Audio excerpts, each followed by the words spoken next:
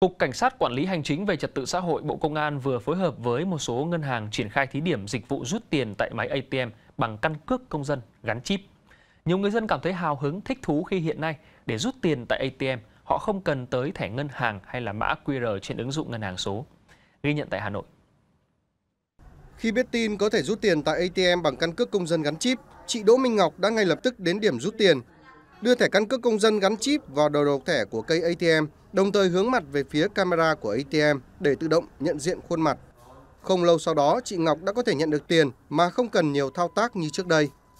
Mình thấy là rất là bất ngờ là làm rất là nhanh, thao tác nhanh, đơn giản. Làm cái thời gian ờ, rất là nhanh hơn so với lại giao dịch tại quầy.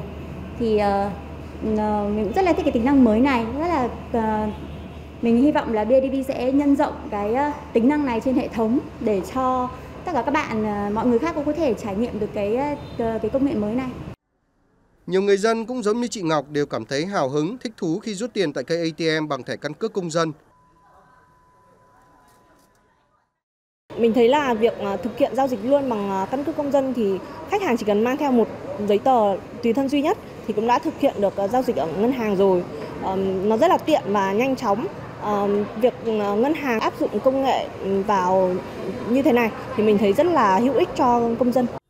Hiện nay một số ngân hàng lớn của Việt Nam đang phối hợp với Trung tâm Nghiên cứu, ứng dụng dữ liệu dân cư và căn cước công dân, Bộ Công an thí điểm ứng dụng thẻ căn cước công dân gắn chip thay thế thẻ ATM để rút tiền ở các cây ATM tại chi nhánh ngân hàng ở Hà Nội và Quảng Ninh. Việc này hoàn toàn nhanh chóng và có tính bảo mật cao đối với khách hàng.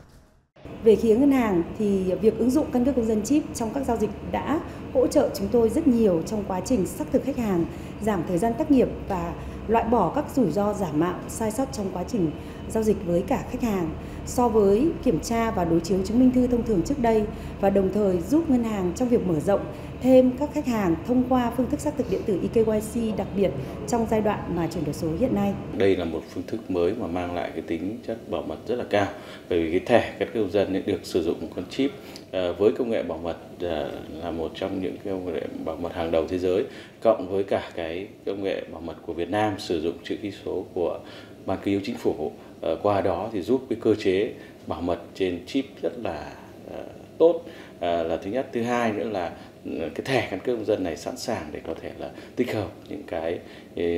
tiện ích khác cho người dân cũng như cho các cơ quan tổ chức. Theo lộ trình, thời gian tới thẻ căn cước công dân gắn chip sẽ được tích hợp thêm nhiều công dụng để sử dụng thay thế cho bảo hiểm y tế, giấy phép lái xe, giấy phép hành nghề, thẻ cán bộ công chức viên chức.